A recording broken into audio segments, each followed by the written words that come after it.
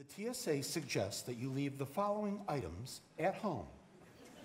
Oh, that's so polite. Number one, true, dynamite.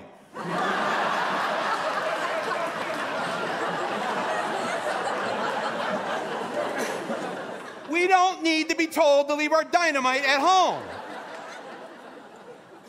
Number two, meat cleavers.